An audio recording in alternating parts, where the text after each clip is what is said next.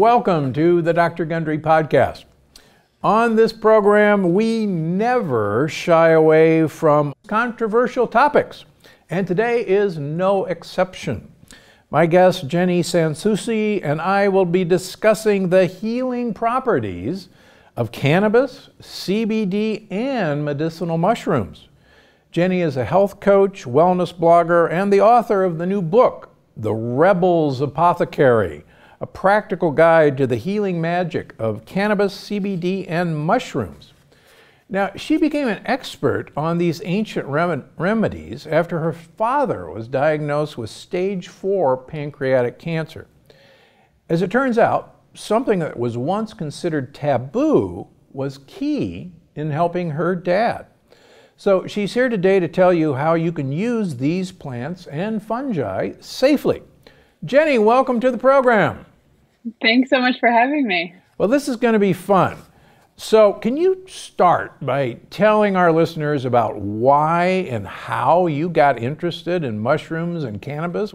Sure, yeah. Um, well, in 2017, Thanksgiving 2017, my dad was diagnosed with stage four pancreatic cancer, as you said.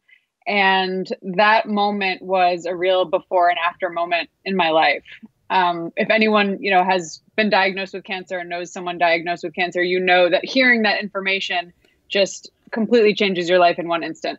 So as soon as he got diagnosed, I knew that I wanted to help in whatever way I could, whether that was with nutrition or supplements or you know cooking for him or finding remedies that could work for him, plant-based remedies, anything that I could you know could get my hands on i wanted to i wanted to try to find for him. And i had been working in the wellness world for many years and i had some connections with functional medicine doctors and people in the wellness arena. And so i had this arsenal of people to reach out to and ask you know what are the things that i should look into when it comes to helping someone with not only treating the cancer but really helping with the chemotherapy side effects and the immune system because I knew that I didn't know much about chemo or cancer at the time, but I did know that it that chemo can really affect the immune system and people can not tolerate it sometimes because their immune system is so weakened. So I just thought, you know, what can I do to help my dad? And I just went full force into the research and cannabis and medicinal mushrooms were the two things I kept hearing about over and over again. And once I started to dive into the research there, it was really, really promising. So that's that's the route we decided to go on. So, just so that everybody understands, your dad uh, was getting chemotherapy, mm-hmm. and so um, you're not going to come on and say, "You, my dad never got chemotherapy. All he did was uh, ha- have a joint and chew on a mushroom, and he's cured." no, in fact, in fact, my dad was definitely sure that he wanted to go the traditional chemotherapy route for treating his cancer. And i was not about to try to you know get him to do otherwise. I'm, I'm not a doctor so i was not gonna i wasn't gonna go there. But i knew that i could support him with some home remedies. And we you know we talked to his oncologist and we got his oncologist on board with all the different things we were trying. And he said you know i don't know if this is going to help but it probably won't hurt. So go ahead and we'll just keep monitoring his progress. So he has the you know the chemotherapy regimen at the hospital and then we've had our our home regimen that we've been doing on the side. You know, that's actually great to hear because um, I work with a lot of cancer patients as well, and so many of their their oncologists tell them, no, you know, you may not do alternative therapies during right. this chemotherapy. You know, how dare you? Don't even come near this stuff. It will hurt your chances. So tell me, actually, tell us about that process. How'd you uh, how'd you find an oncologist that lets you do this? Number one. Yeah, that's a really good point because I hear that from so many people that their oncologist said, no, absolutely not. Don't try cannabis, you know, medicinal marijuana, CBD, mushrooms. It, they say maybe it will hurt, or they just don't have enough information about it to be able to say it's okay. And luckily for us, uh, we we were paired with an oncologist who was open minded to it. He definitely did not recommend that we do it, and he said, you know, this may not do anything, but I'm not going to tell you no. So he didn't. We were really lucky in that sense because a lot of oncologists don't do that. So what I always tell people to do is when they speak to their oncologist about potentially using home remedies, and their oncologist says no, maybe you'll agree with this. I always say what's the exact reason why they're saying no? Is there something specific to your condition? Maybe there is. Maybe there is a drug interaction. Maybe there is something very specific to you and you shouldn't use these home remedies. Or, you know, if not, like maybe ask the oncologist if you oncologist if you could try it for one cycle, you know, until your next scan and see if everything is still okay. You know, if there's not a specific reason to you, maybe maybe they'd be willing to just let you see how it goes for one cycle. So what made you tell us about the your research that said, you know, we need to look into cannabis and CBD and medicinal mushrooms. What brought that to the forefront? Well, one of the things that happened really early on when my dad first got diagnosed is he watched a documentary about medical marijuana and it was and he had just recorded it because he thought it looked interesting. He wasn't even interested in it for himself. He just wanted to watch it. And it was all about cancer patients that were using medical cannabis and having really good results you know not only with their cancer but with their with their side effects of their chemo and so he his ears perked up at that immediately and at the same time cbd was just starting to emerge and one of my friends said hey just look into cbd and cancer and see what you find and i started researching that and i found so many stories of people who were using medical cannabis and cbd who have cancer and were experiencing relief. And then I started to look into studies. I went to a medical cannabis conference. I started to get in touch with medical cannabis doctors and asked them what their experience had been. And I just went straight down the rabbit hole. And I, I was, you know, I, I was really impressed by what I found in, in medical cannabis. And then with the mushrooms, um, I had already known that medicinal mushrooms could be helpful for the immune system. That was something that was already in my consciousness, but I didn't know a lot about them. And when I started to go down the route the route of researching mushrooms, I found so much information there is about medicinal mushrooms being used in cancer hospitals in other parts of the world and people using it to help their immune systems. And it was really, really interesting. Okay, so explain to people as, as if they don't know the difference. Hopefully, most people know. So, what's the difference between cannabis, CBD, and medicinal mushrooms. And are medicinal mushrooms different than magic mushrooms? Yeah. So, cannabis, CBD is part of the cannabis plant. It's a compound within the cannabis plant, and it's a compound that doesn't get you high. So, THC is the compound that most people are familiar with inside the cannabis plant that does get you high. So, they're two different molecules that are both within the same plant. The mushrooms the medicinal mushrooms, all of the ones that my dad is taking, and most of the ones that I write about in the book are completely non psychedelic. So there's, you know, when people think about mushrooms, they usually think of grocery store mushrooms like button mushrooms, portobellos, creminis, or magic mushrooms that are going to take you on a, on a trip. There's another class of mushrooms that's considered medicinal mushrooms, which is they're edible and you know you can consume them and they have medicinal properties, but they're not psychedelic. Gotcha. And uh, you want for the listeners, you want to name some of those medicinal mushrooms sure. for us. Yeah, yeah. Some of the the ones that that I cover in the book and that my dad has been taking every day: chaga mushroom, reishi, turkey tail is a big one. That's one of the first ones that we got him started on. Um, shiitake is a wonderful, actually a really great one for right now too, because shiitake has been shown to be antiviral. So that's a really interesting one to look at. Um, lion's mane and cordyceps and maitake. I believe those are those are all the all the ones. And then I do I do cover magic mushrooms a little bit in the book too because there's some really interesting things going on in the research with with psilocybin, which is a compound inside magic mushrooms. But that that's not the main thing that um that we've been focusing on, but it's definitely an interesting one to pay attention to. All right, so you keep bringing up the immune system with mushrooms. In terms of uh, medical marijuana and CBD, where where's the benefit that, with this in in cancer patients? Sure. Uh, well, yeah, with the immune system, with the with the cannabis, what we had found with our research into cannabis is that THC and CBD both have properties that have been shown to kill tumors and and slow tumor growth and they can help with the immune system. There's not enough research there yet because they can't do clinical trials on cannabis because of the legality. So this is a lot of preliminary research and anecdotal stories. So that's with cannabis. With the mushrooms all of the mushrooms that I just mentioned, aside from magic mushrooms, but all of the medicinal mushrooms that I mentioned have been shown to have immune system modulating properties. So they don't necessarily stimulate the immune system or you know dampen the immune system they balance the immune system so they're they're considered adaptogens so they can just help keep your immune system in balance and all of them are are really powerful for you know keeping that immune system strong yeah, we. Uh, I have a, uh, a patient who, oh, I think he's now ten years out from uh, stage four pancreatic cancer, and uh, he. We treated him basically with a raw food diet and a lot of mushroom uh, extracts, particularly coleus, um, turkey tail, and. Right. Um, He's, uh, like I say, knock on wood, he's cancer free now for 10 years. And, oh, that's amazing. Yeah. Now, uh, so I'm, I'm, I'm a huge supporter of, uh, you know, using plant-based uh, therapy in cancer. So, and I've, right. you know, again, I've seen it with my own eyes and, and, and written about it in my books. So, can any of these, I know that when you have chemotherapy, it's not exactly the, the most uh, wonderful trip.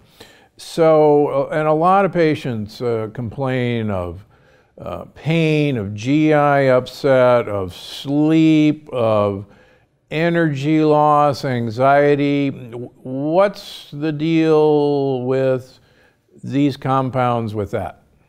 Yeah. Well, the cannabis my dad the cannabis that my dad has been taking and a lot of other cancer patients also take this it's a very highly concentrated cannabis oil that comes in a little plastic syringe and you eat these small droplets of this cannabis oil tiny tiny droplets the size of a grain of rice and that can give you around 50 milligrams of thc and 50 milligrams of cbd if you have a one-to-one ratio product in one drop so that's a very high dose um, for people that don't know, about 10 milligrams of THC is considered a recreational dose that someone may, you know, use to get high. So 50 milligrams is a really, really high amount. So you have to really start slowly with that kind of medical cannabis product. But what my dad has found with that, it has really, really taken away his nausea completely. He's barely ever had nausea, and it's two and a half years in now. He's hardly had any nausea his appetite came back as soon as he started taking this cannabis oil, which a lot of cancer patients, I'm sure you know, they completely lose their appetite. They lose so much weight, and that really contributes to them feeling sicker and sicker as time goes on because they're not able to nourish themselves. So that was amazing. Right off the bat, he started to be able to eat full meals again and feel really well. And then he sleeps great because he takes a higher dose at night. He doesn't like to take a higher dose during the day because he still wants to get things done and not feel too you know, impaired by the THC. But at night, he's okay taking a little bit more, and he has slept well the entire time. So I think that has been the main thing that's helped ease his side effects from chemotherapy. And then I believe that the mushrooms are what's keeping his immune system strong, so he hasn't been weakened by the chemo. Gotcha. So uh, your book is trying to remove the the drug stigma of cannabis and mushrooms. Why is that important to you? Well, yeah, you know, when I, I I quit drinking and quit using all drugs back in 2007. So it's been for me, I swore off cannabis and mushrooms back then and and alcohol. And you know, I used cannabis and mushrooms in college recreationally and I never thought of them as medicine. I never would have even had a reason to think of it as medicine.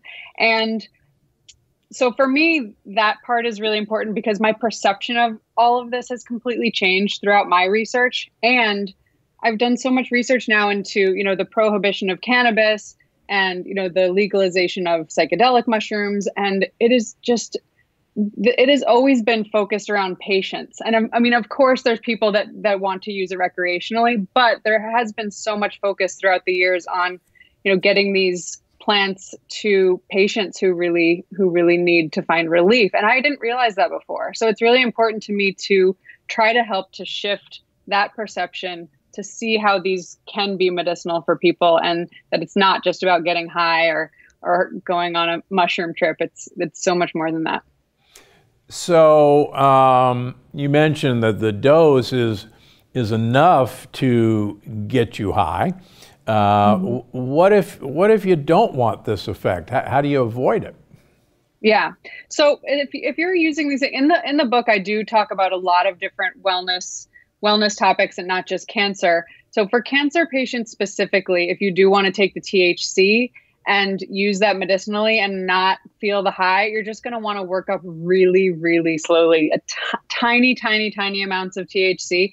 For most people, two milligrams of THC is the the threshold. If you go above two milligrams, you can kind of start to feel those those intoxicating effects. If you start a little bit lower um, and move up, you know, every few days, a couple more milligrams, and just monitor how you're feeling, that can be a really helpful way. If you don't want to feel it at all, I would take a high CBD product with little to no THC in it and that will you know give you the medicinal effects of the CBD without without having the THC. But they do work better together. So if you have a little bit of each in there, um, they boost each other up. So if you can tolerate a little bit of THC for the medicinal effects, that's great. But you don't have to, you know. And if and if you're not using it for for your cancer journey and you're using it more for wellness, then you can absolutely just take a high CBD product with very small trace amounts of THC.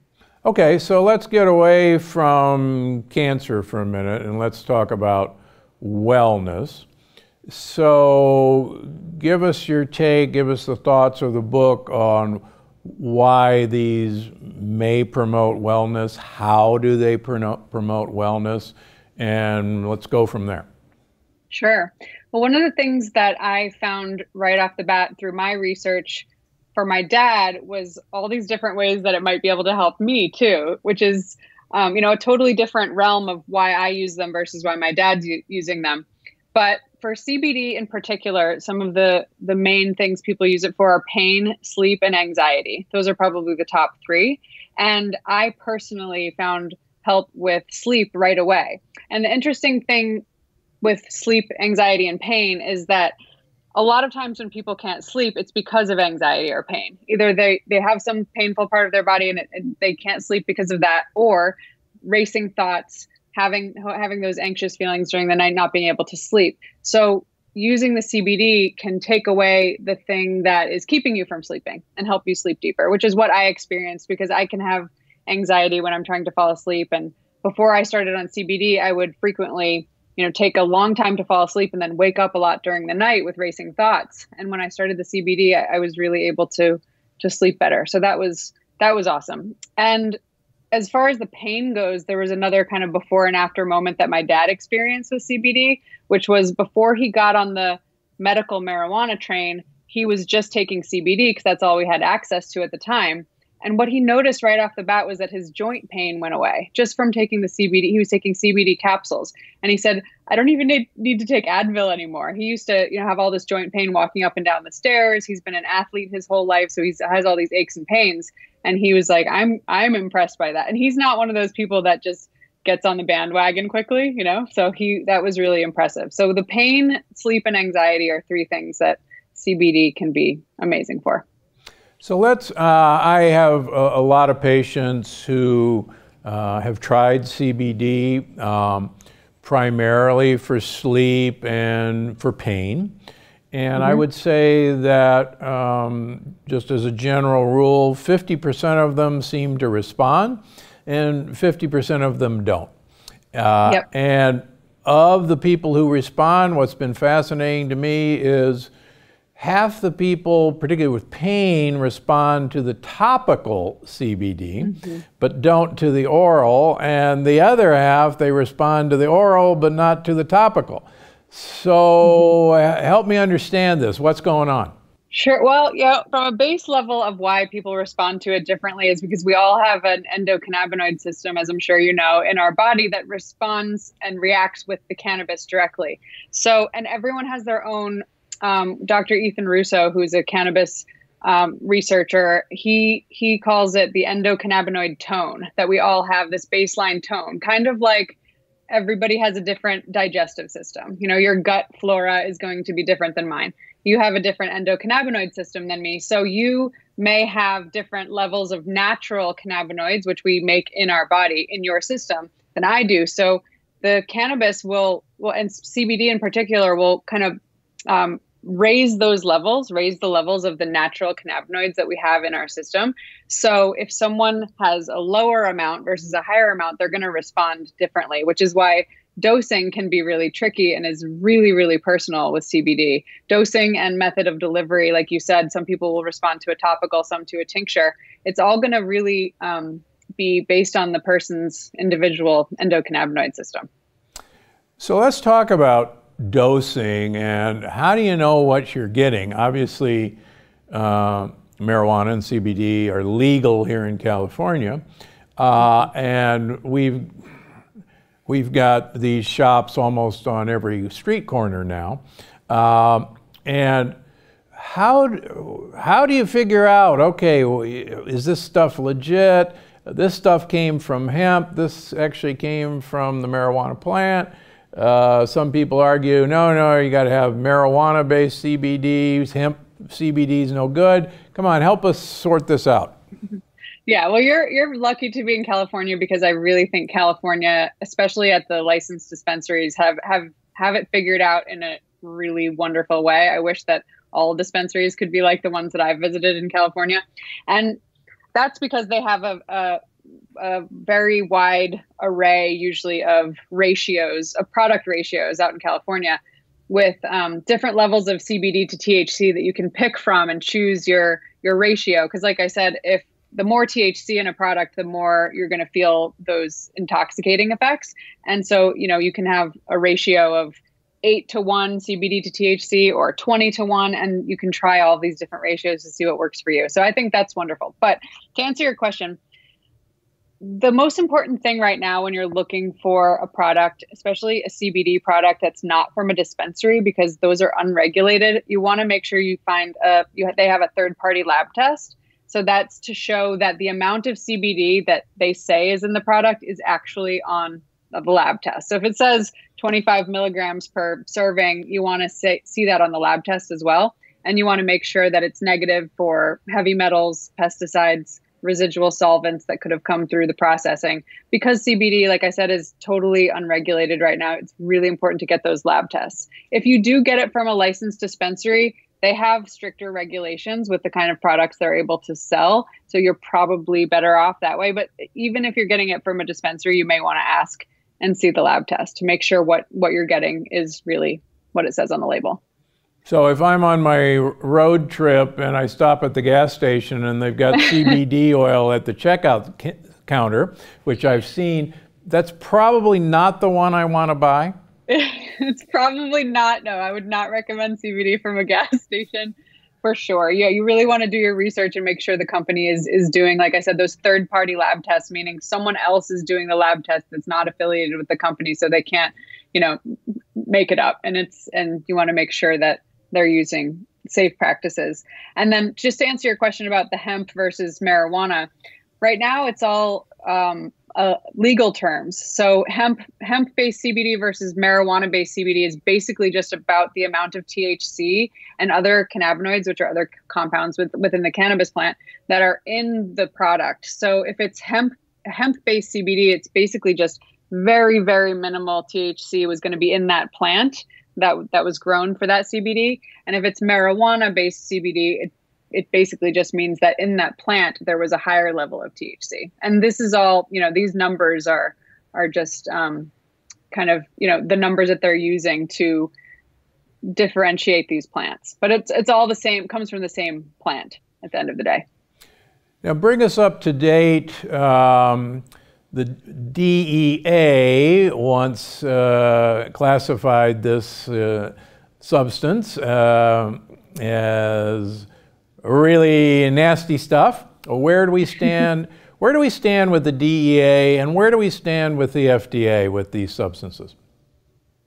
Well, right now, um, cannabis is still a Schedule One drug federally. Correct. So I hope that that will change. I don't know for sure when it will. I mean, people predict that that will change within the next couple of years. CBD, in, as of 2018, became legal federally, which is why you see the CBD boom everywhere. So CBD from hemp, which just means 0.3% THC or less, is federally legal.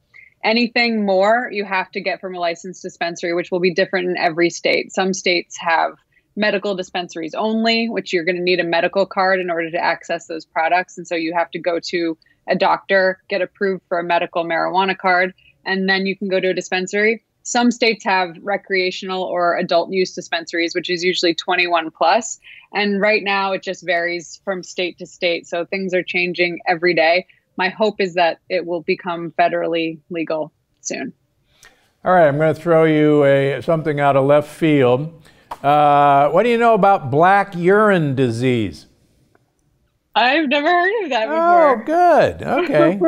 Okay. so I, I have a, a, very good friend, and I won't mention his name, who ran a company that uh, was really big into CBD and kind of put their whole careers into that and was working very hard with the FDA to get FDA approval for CBD. And you probably know that the FDA does not approve CBD. Yeah. Right. And interestingly enough, and I did not know this, because he said, I'm sure you've heard of black urine disease. And I said, No, I, I haven't. He says, Well, it turns out that too much CBD can actually affect the same receptors in the liver that Tylenol hits, acetaminophen, and can actually poison the liver. And it was discovered because some very heavy CBD users noticed their urine was turning dark, like they had hepatitis. And it got the name black urine disease. And he tells me, and I'm not, I haven't talked to the FDA about this, that the FDA is worried that big time CBD use, and I don't know the dose, um, may potentially damage the liver, and that's why they put the brakes on this. But, uh, but look it up, it's fascinating. Yeah, you know, I have seen some things talking about CBD damaging the liver because of studies that they did in mice or rats. Right. And from what I could gather from these studies, the amount of CBD they had to give these rats was was huge, like thousands and thousands and thousands of milligrams of CBD, like what it would what it would equal with a human. It seemed very, very like a huge stretch to me, but um, I will look that up and see see what the what they're saying about black urine disease because that sounds pretty scary. And you probably couldn't afford to take that much. Right, exactly. well, so let's get back to that. Is there is there evidence? Is there at least anecdotal reports about the amount of CBD that you have to use to be effective? Uh, you mentioned that everybody's endocannabinoid system is different. So what yeah. what what should people look for? What do they try? What do you recommend? Yeah, as far as dosing, I mean, I've heard from doctors that practice with with cannabis medicine that some patients do well on five milligrams of CBD, and some people do well on 500 milligrams of CBD, depending on their condition. So it's really, really different. But what I can say is a starting point for CBD, you want to start really low and take it by itself and monitor how you feel, you know, every 15 minutes. Like, do you feel anything different? Do you feel you're more relaxed? Do you feel any relief of pain? Do you feel any relief of anxiety or whatever it is that you're trying to find relief from? And pay really close attention and only take more if you feel no nothing. If you feel nothing, take a little bit more. But you could start with like five milligrams, even something really small, and see if you feel anything. If not, you know, around 15 to 25 milligrams is a standard dose for people, for many people, um, a standard kind of wellness dose. And then if you're having a high amount of pain or anxiety, you may need to take you may need to take a little bit more and just kind of move up until you find the relief that you're looking for or switch products if it's if it's not working for you or methods of delivery. There like you said before you know topicals work really well for some people for people for pain. For anxiety a lot of people like to take the tincture under the tongue because that works usually within 15 minutes or so and you can really measure your dose drop by drop. So i would suggest starting with a with a sublingual tincture because that that's how you can really really get a measured dose and say okay i took this this exact amount. Where where some of the other methods um, you can't always know exactly how much you're taking Okay, so we talked about anxiety, pain, sleep, and you used the buzzword the wellness dose of CBD. so, again, help me experimentally, anecdotally. Where does CBD fit in a wellness regimen? Sure. Well, like I said before, we all have this endocannabinoid system in our body that CBD works directly with. And we have our own molecules inside our body that work with this same system that CBD can help to regulate those those molecules. And they affect things like you know pain sleep the immune system anxiety depression mood, you know mood. They have they have so many things that this endocannabinoid system affects. It really keeps you in homeostasis or keeps you in balance. So taking cbd as a daily tonic is kind of you know tonifies your endocannabinoid system and can keep things in balance. Many people just find that taking it you know a day as a daily thing whether it's at night or during the day depending depending how you respond um, can just make you overall you know feel more balanced. Gotcha. Okay. Uh, interesting um, uh, Dr. McCollan and I have talked about CBD for sleep when we've been on each other's podcasts, and we uh, back years ago now uh, did 20 milligrams of, of CBD sublingual uh, before mm. bed and tracked our sleep with an Oura ring, which I'm holding up wow. to the camera.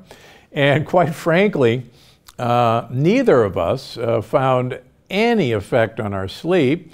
And as I recall, and I won't put words in his mouth, he even tried it with THC and also found no effect for him or me. So we both kind of stopped doing it. But you're right, maybe our endocannabinoid system is so phenomenally balanced, and I hope it is, uh, that maybe we would not see that effect. So that yeah, or the other part is that sometimes taking certain amounts of CBD or THC can be more wake promoting for some people, and especially taking a little bit too much THC can kind of make you have those racing thoughts or can cause anxiety for some people. So that yeah, again, it is it is so so personal and some people will say, "Hey, I take CBD and it makes me more focused and awake." And some people say they take it and it makes them fall asleep. So it's um yeah, it's an experimental journey. All right. So I'm sure everybody wants to know because you're a rebel apothecarian. Uh, should we be regulating these substances? What's the best approach to regulating them if they should be regulated? Yeah, I mean, I, like I said, I really think that some of the licensed dispensaries in California are doing a really good job with with the way that they are providing their products. I think that cannabis products with THC um, should be most likely just allowed in licensed dispensaries, but I do think it should be federally legal. I do think that people, anyone that wants access to cannabis medicine should be able to have access to it. I don't think it should just be, you know, sold at gas stations and have these low quality products on the market. I think that there should be should be testing, third party lab testing for all cannabis products and all CBD products. I do think that they should be regulated in a way where they have to, you know, contain exactly what they say on the label. So yeah, I do. I do think it should be legal federally, and just as long as as long as the regulations are in place to keep people safe. So we're not going to pull up to the gas station and get a uh, six pack of beer and a and a brownie to go. I would say make your own brownies at home, which there are some recipes in my book. Aha! I, I knew I could get a plug in for you there. but as far as I will say, also with um, you know, with the magic mushrooms and legality and regulation there, um, the predictions that are happening for those are that they'll be legal within therapeutic settings because they are researching them for depression and even you know comparing them to SSRI depression drugs and seeing you know how they affect people. So I think that those mushrooms, which are are currently illegal as well, will um, will be available for use in therapy. And I don't think those should just be you know available at a gas station either. Those should be you know closely monitored. Yeah, Mike, Michael Pollan has, has made, a, I think, a very strong point that there is good increasing evidence that there is some bona fide medical use for these. I think particularly in depression. Um, and uh, yeah, we need, and you, you know, you argue for this that we need to, to look at this as another federally regulated, licensed use of these products for specific reasons. Right. Yeah, absolutely. And I think you're right. And maybe you talk about that. The, the use of these products kind of in your own home is probably, at least in our state of understanding, not a great idea. This should be taken with a, a practice professional in a setting, in a controlled setting. What say you? I say if we're talking about psychedelic mushrooms, yeah. yes, I would definitely recommend that people don't just try it alone.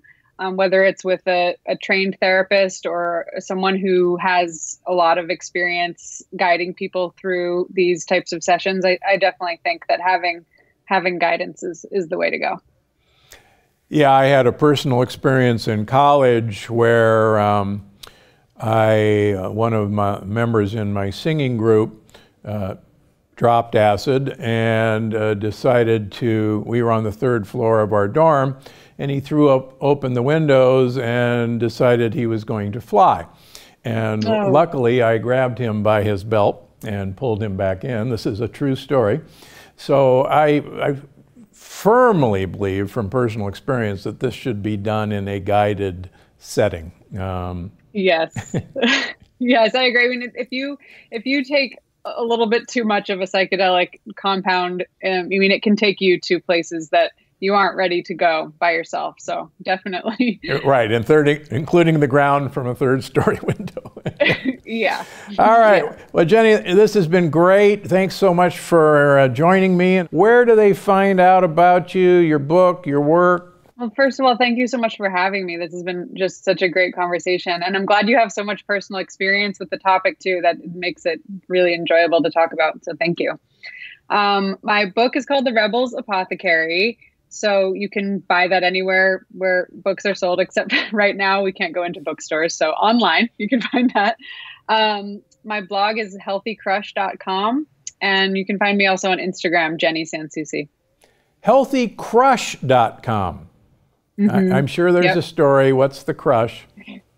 Well, the Healthy Crush, I've actually been writing there since 2008. So I've been uh, blogging about wellness and personal development topics for quite a long time. And the Healthy Crush just kind of popped into my mind. The tagline is a love affair with living well. So ah, kind of okay. The way the way I've always felt about um, you know finding out about new wellness topics and getting excited about them and, and sharing. Very good. Very good. Yeah. Okay, it's time for our audience question. Uh, Sandra Liliana on Facebook asked Is keto diet safe for people with heart conditions? Believe it or not, I do use my version of the ketogenic diet for my patients with heart disease who have also, for instance, diabetes as a co founding factor and as a cause of their heart disease. The key in my ketogenic diet is you got to eat about 80% of your calories from fat, but that fat shouldn't be ribeye steaks. It should be fats from avocados. And for you people who are watching, I have avocado socks on today. And they should be from olive oil. And the more olive oil, macadamia nuts you eat, uh, macadamia nut oil, sesame oil, the better. And the key of a ketogenic diet is to really severely limit your carbohydrates to really leaves and vegetables that are going to carry olive oil and avocados into your mouth. That's totally different than a paleo or carnivore keto diet where the vast majority of the foods you're going to eat are heavy cheeses, heavy meats, heavy fats, you know, three bottles of cream every day. That's not what I use for my heart disease patients. So you got to be careful in the term keto diet. There's a good way to do keto and there's a bad way to do keto, particularly for heart disease. So that, that's a great question, Sandra, and thank you very much.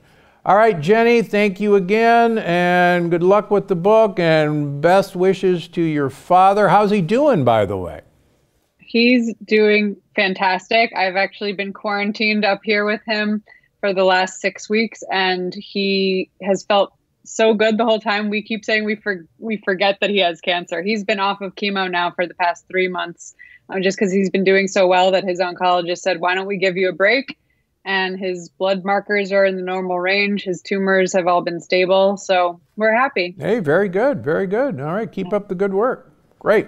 Thank you so much. Right. Thanks for having me. Take care. And now it's time for the review of the week. Following my most recent episode on COVID 19, Guido Brunelli Jr. on YouTube wrote, Thank you, Dr. Gundry. Clear info without fear and hype. Well, thank you. That was concise, and we're trying to give you the up to date information without the hype, without the fear, because, as you know, I'm Dr. Gundry, and I'm always looking out for you. So, we'll see you next week. Thanks for the review. Before you go, I just wanted to remind you that you can find the show on iTunes, Google Play, Stitcher, or wherever you get your podcasts. Because I'm Dr. Gundry, and I'm always looking out for you.